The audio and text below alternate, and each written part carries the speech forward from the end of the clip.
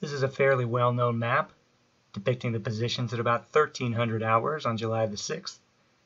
I know that's about an hour and a half earlier than our current game time, but this is the closest thing I could find for comparison. We can see the Austrian right-hand blow still pretty far advanced against the French left, with Massena's Fourth Corps gathered in force the Austrians are still presenting a pretty significant threat to the French left and rear. MacDonald making his drive against the Austrian center. And the French Third Corps has crossed the Reussbach, ascended to the heights, and pushing back the Austrian left very successfully. This is the 1440 turn, essentially the point where historically Charles called for a retreat. And this is probably a point where the game can can end with the victory levels more or less determined, even though there's five turns left to play. Probably not much more in terms of victory can be gained. So we'll just go in and take a closer look at how things stand.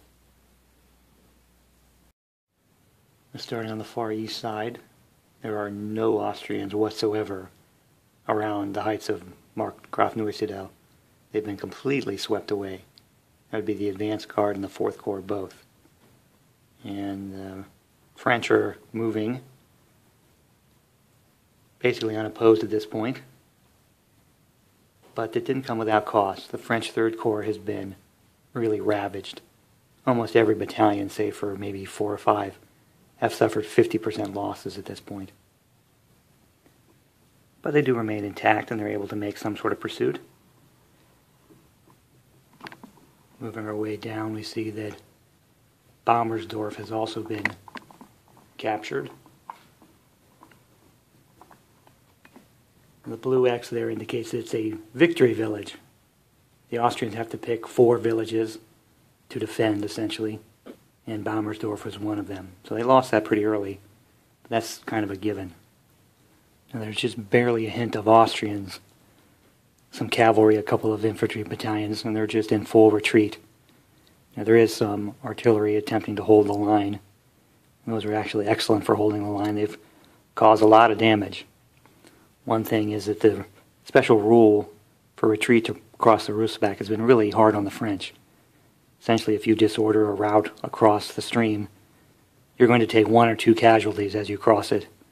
The French lost a lot as they tried to force their way across and up this, this hillside there. So that's a very good defensive position, but it was the flank attacks that essentially undid it. Try to wend our way around to Wagram.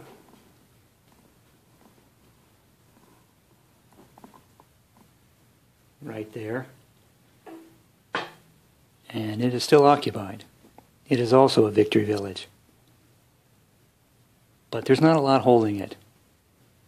You can see the continued stream of the Austrians try to cross the stream and get away from the advancing French, Second and Third Corps. And that one regiment there is from the Fifth Corps, now, it's all likelihood that village will be captured. So I'd kind of give the French Wagram and Baumersdorf at this point. But let's continue on to the east. Notice there's this huge gap. The Austrian First Corps used to extend between Wagram and Aderklaa, and they're kind of gone. This whole area collapsed then it was sworn by the French cavalry. See a number of tired regiments.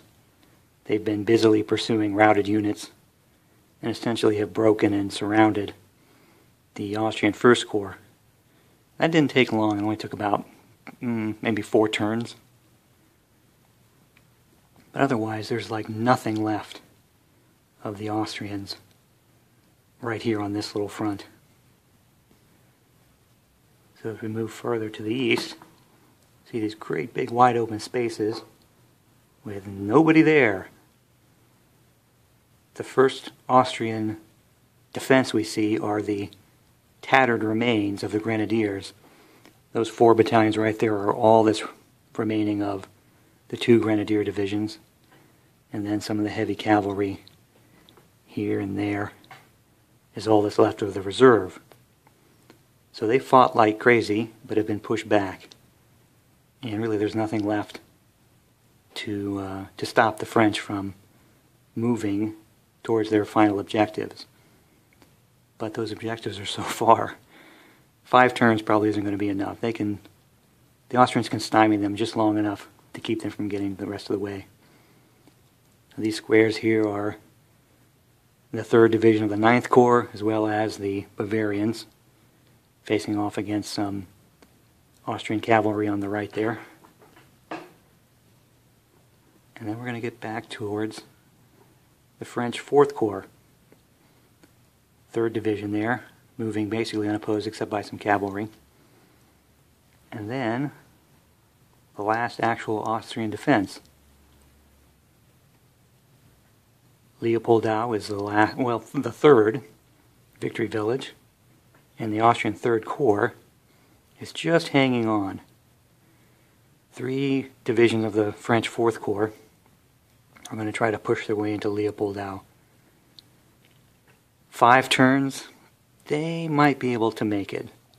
There's an equally good chance the Austrians can keep a battalion or two in the in the village. So even if we grant Leopoldau, Wagram, and Baumersdorf, that's three victory villages for the French. That would leave one, on all likelihood, still in Austrian hands. And here is that one, Gerasdorf, in the far northwest corner of the map. And it is really just out of reach. There are some remnant Austrian units that are going to try to get themselves over here. And they will likely be able to occupy that village along with that one grenadier battalion and keep whatever small units are able to force their way forward by the French. I just don't think five turns is enough to get to that village and take it. Otherwise, the far right is kind of collapsed for the Austrians. Here's this mass routed units gathered in the only cover terrain they can find, but they're likely to be forced out sooner than later. They've been chased by the French and the French light cavalry all the way across the map. I mean, across one, two, three maps after they routed and reached a morale level. Now, I have sympathy for people who think that this is ridiculous. From a gameplay perspective, it is kind of tiresome. Basically, you have to roll a 65 or 66 to rally anyone. So you make a bunch of die rolls every turn and then just move them, route move them. So it's not fun. I could see the rationale of just picking them up and getting them off the board. But anyway, there they are. Not likely to ever fight again, certainly not in this battle. And that's what happened to the Austrian right. Just a huge collapse, and they were swept over by the Fourth Corps. Let's take a look at the Austrian casualties. See the forces holding the left of the line behind the Russbach, advance guard, 2nd Corps, 4th Corps, all took staggering losses. Infantry, cavalry, and artillery, in some cases all of the artillery of the Corps, completely wiped out. Much the same for the far right hook, the 6th and 3rd Corps. Both took just huge losses in infantry. Also artillery of the 6th Corps. Essentially the 6th Corps was wiped out. The center, the 1st and the Reserve Corps, both also hit very, very hard. Massive losses of cavalry for the reserve, and almost all of the grenadiers wiped out.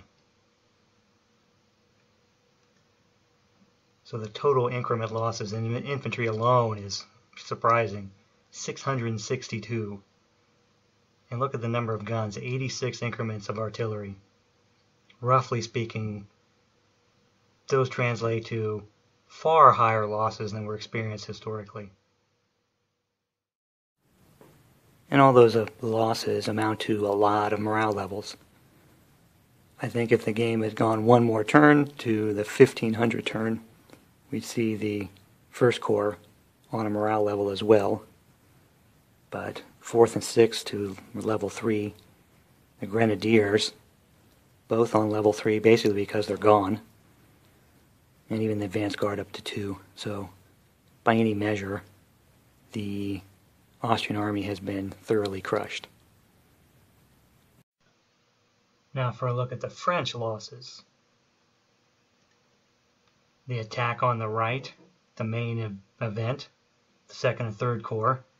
See, the third corps took huge losses, really the brunt of the fighting. Second corps was also similarly hit, though certainly much less. On the opposite side of the field, on the left, the fourth corps engaged the whole day. It still had, you know, a pretty rough time of it, but far fewer casualties than the others. Their losses in uh, cavalry and artillery were probably a little higher due to just the nature of the open fighting on that side of the field.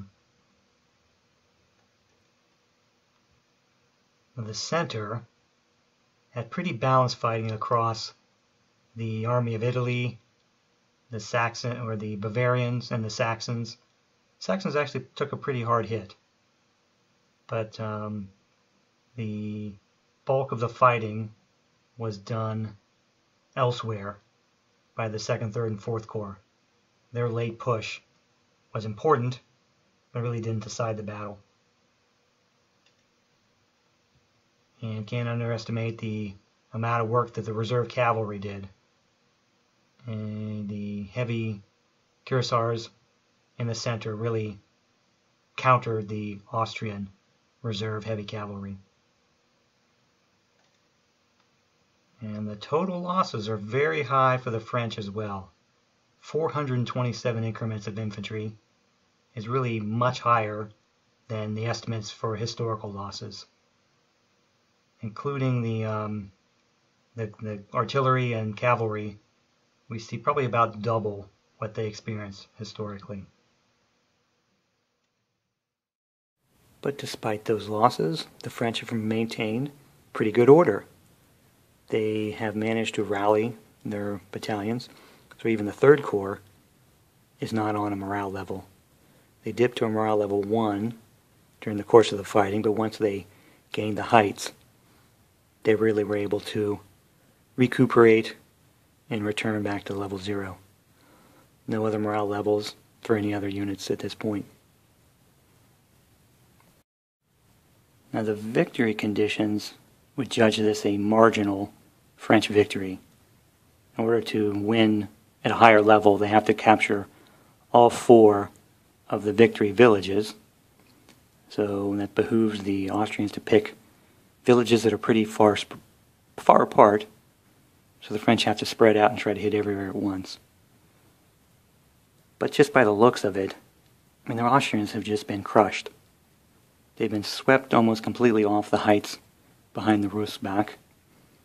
They have taken massive, massive casualties. And there's really no organized line of defense and no organized retreat. So if the Archduke wanted to preserve the monarchy by preserving the army, uh, he didn't get that done today.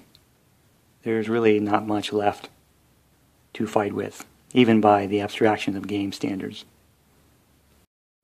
So there it is. A marginal French victory is in keeping with historic outcomes. It just doesn't feel quite the same because of the disparity in losses. But um, otherwise, it kind of played out mostly on the east side to history. The west side was not nearly as much. The French just were able to counter that Austrian drive much sooner, much more effectively. So in the end, the game played a little more like Jena than I might have expected because the Austrians just couldn't couldn't fight on the, the open spaces here very well. And the the outcome really became kind of inevitable once the once the attack on the French left was clearly not going to develop. Likely the French were just a little too conservative, didn't commit the guard, didn't commit Marmont's 11th Corps until much too late. Otherwise, I'm pretty sure they could have gotten the, the full decisive victory. They could have gotten back to Gersdorf, which is way off in the distance there. The Austrians, on the other hand, I have really no idea how to do better. I think in the end they're always going to be able to hold one of the victory villages and keep the French to a marginal victory. And that's about the best they can do. Uh, I don't know how to fight any better in the open areas. And you just can't win by holding the ground behind the Russbach.